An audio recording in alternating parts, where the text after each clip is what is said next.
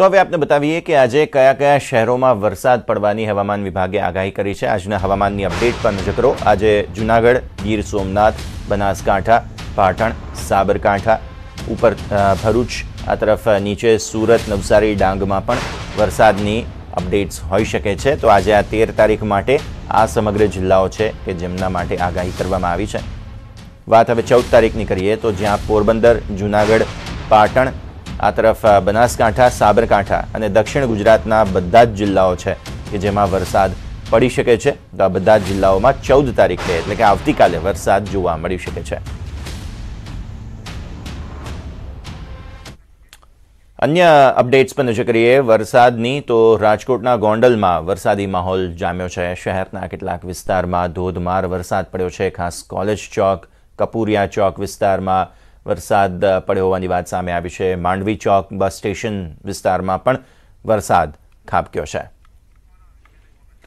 તો આ તમે તસવીરો નિહાળી રહ્યા છો ગોંડલની કે જ્યાં કોલેજ ચોક સહિતના વિસ્તારોમાં વરસાદ ખાબક્યો છે.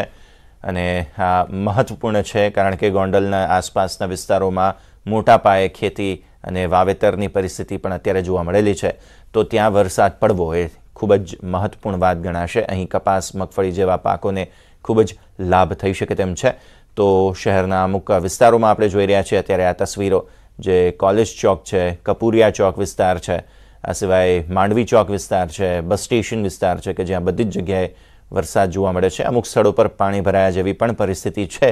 પણ એક રીતે ખુશીનો માહોલ જરૂરથી શહેરીજનોમાં જોવા મળી રહ્યો છે. ગોંડલની આ અલગ અલગ તસવીરો જેમાં કોલેજ ચોક, કપૂરિયા ચોક, માંડવી ચોક અને બસ સ્ટેશન અને મહત્વપૂર્ણ જે વિસ્તારો છે. તેમાં બધામાં વરસાદની પરિસ્થિતિ સામે આવી રહી છે. આસપાસના ગ્રામ્ય વિસ્તારોમાં પણ આપણે જોઈ રહ્યા છીએ વરસાદના અપડેટ્સ સામે આવી રહ્યા છે. શહેરી અને ગ્રામ્ય વિસ્તારોમાં વરસાદના અપડેટ્સ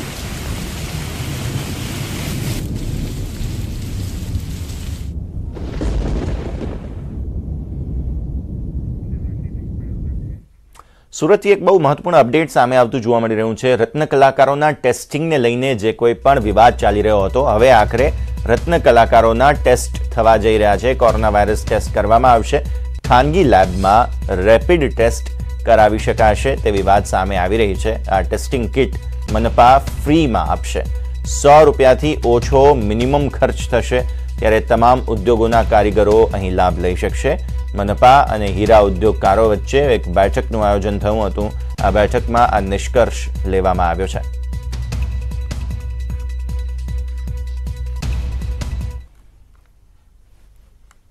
ટેસ્ટિંગ માટેની કીટ સુરત મહાનગરપાલિકા ફ્રી આપશે.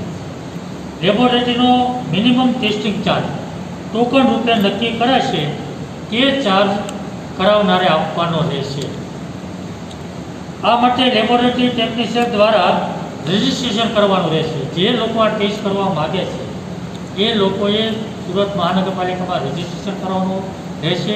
જે રજિસ્ટ્રેશન લેબ કરશે, એમને સુરત મહાનગરપાલિકા કીટ આપશે. અને એ લોકો જે કીટ સિવાયનો ખર્ચ જે કંઈ મિનિમમ હશે, એ કરાવનાર પાસેથી લેશે. પરંતુ જે કોઈ યુનિટ પોતાના સ્થાને પોતાના તમામ વ્યક્તિઓને, કોઈ ફેક્ટરીનો માલિક એમ કે મારે આજે જ મારા તમામ કારીગરો એક સાથે મારે પોતાને ટેસ્ટિંગ કરાવી લેવું છે એક જ સાથે, તો તેમને સુરત મહાનગરે પાંચસો રૂપિયામાં ટેસ્ટ કરી આપે.